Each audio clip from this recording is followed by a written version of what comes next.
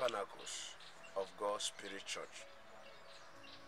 We are the throne of God. Since we are the throne of God, this means the Lord dwell in us.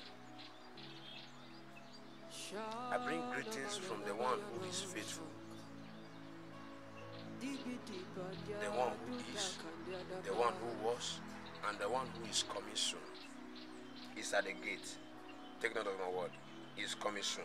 Is at the gate. Standing with me here physically, but invisible to the world, are the seven spirits of God who dwell in the throne of the Father. Viewers all over the world. Remember, I'm here because I'm sent. I can't be here unless I'm sent. Hmm. I'm here because I'm sent. The message is not about the messenger, but about the one who gives these messages. Take note. Let no man take the glory of the work of the Father, because we are watchmen in the realm of the Spirit. This is the voice of an ancient Spirit of God installed in this latter time. Let us not forget that I gave us a message concerning the year 2023, the year of happiness. I told you by the Spirit, projection, as at that season, that this year will be a year of rapid manifestation, the year of rapidness, a conclusion. Under the calendar of God, this year is to conclude the year 2019. And I said there will be a lot of unfoldings as spirit permits. And we have seen the divine manifestation of God's word. Also, in one of our TV uh, message Holy Ghost gave to us, I told us about Africa that we should pray about for Africa as a whole. That the enemy is rising witchcraft in Africa. Africa is rising witchcraft again. That's what the Holy Ghost told me. That wishes and wizards are rising in Africa again. That we should pray for the for Africa as a whole. Now, what does he mean by witchcraft that is rising? This means that the wickedness of men is growing, diabolic practices is increasing, plot of harmful skill and misleading is increasing in Africa. This is why the Lord asks us to be praying that each nation of Africa there should be intercessor. Do not forget this. So you have seen what is happened in the nation South Sudan. On Monday, as at 3:41 p.m. in the evening, I was on the mountain seeking the face of God for His mercy. Take note of my word for His mercy over the nation and over the responsibility He has put on our care. Suddenly, at the second hour, the Holy One of Israel stood before me. This is a physical contact, an open vision. As I received from him directly, while I was the one writing, he was the one speaking. He gave me a word for the nation South Sudan. The nation South Sudan, this is to tell you that there is a prophet in the land. There is a prophet in the land. God is to say something concerning you. For South Sudan,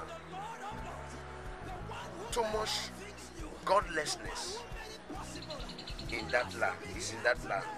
Yes, it is a land that is greatly blessed, but the enemy introduced godlessness in their hearts. They have the spirit of complacency.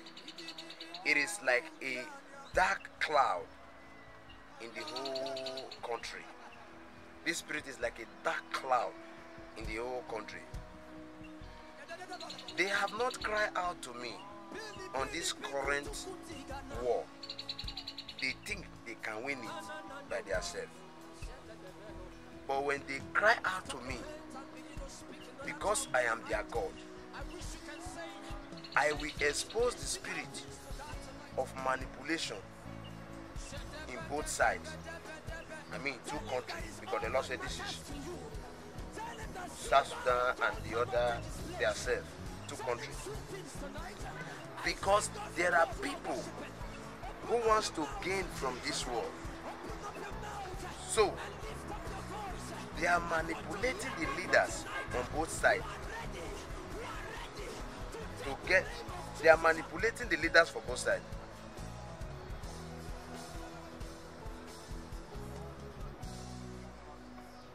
Yet they are not for anyone. Do you understand what I'm saying? These people, there are people that is influencing this war. This is external bodies, foreigners. They are manipulating the leaders for both countries that are fighting. This is what the Lord said. But yet, these people are not for anybody. So they are supporting this side. The same people supporting this side are the same people supporting this side. Unknown to you. But for their own interest to be gained, these people are just supporting here, supporting here. They want to gain something from this war. So they are misusing using the head of these two nations to fight. Now listen to what the Lord said. Remind them that I love them. My love is eternal love. They should seek me. Many have many have never felt many have never felt the true love that I have for them. Many of them has never felt that love. Remind them that they should seek me. I love them. So the nation South Sudan is the voice of the Lord for you. Why are you fighting each other? The one that is advising this leader is the one that is advising this leader. You that is fighting within yourself. The same person is not for you people, but he wants to gain. This is the voice of the Lord. Seek him, both leaders, and leave this world. Godlessness has been introduced to your heart. Backup has been introduced to your heart. This is why men trust after the horses of Egypt that will never grant them nothing. Be on your knees. This is the sign of the end time. But this is not the will of God for you people. Satan is gaining from this. If you fail to listen to this message, there is more damage that will happen to your nation.